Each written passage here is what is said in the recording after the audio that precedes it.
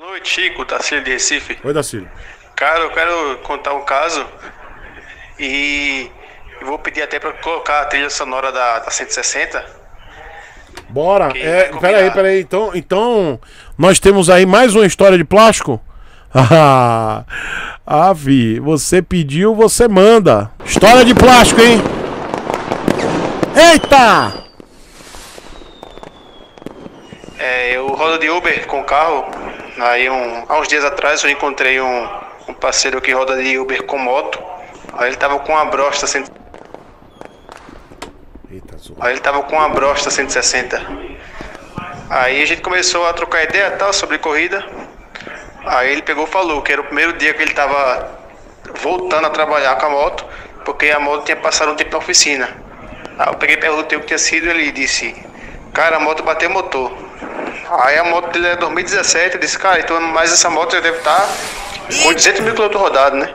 Porque trabalha com a moto, né? Ele, nada, vou te mostrar aqui no painel quanto ela Peraí, chega, chega bugou aqui.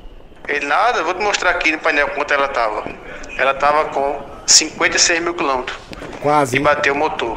E detalhe, um coroa tal, andava de boa, ele disse, e ele trocava o óleo a cada 500 quilômetros. E mesmo assim a moto bateu o motor por Eita, falta de óleo. perto. Ou seja, a teoria dos 60 mil quilômetros realmente é, se comprova mais uma vez, né? Abraço. Rapaz, 500 km trocando óleo, velho. Esse aí aprendeu na escola do jumento da Honda.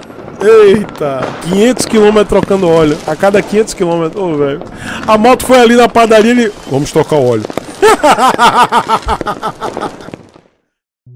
E essa aqui é uma singela homenagem e agradecimento a todos os apoiadores e membros deste que é o pior canal do YouTube. Pessoal, muito obrigado. O nome de todo mundo tá aparecendo aqui agora e vai aparecer no final de todos os vídeos desse canal aqui. E se você gosta do conteúdo, quiser se tornar um membro ou apoiador, mas principalmente um apoiador, vai lá no apoia.se barra Chico Sepúlveda. E se você quiser se tornar um membro, toca aqui nesse botão embaixo, seja membro. Muito obrigado.